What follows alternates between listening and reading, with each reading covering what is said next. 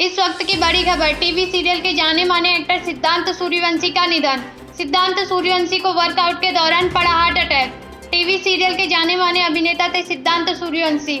डॉक्टरों ने सिद्धांत सूर्यवंशी को किया मृत घोषित।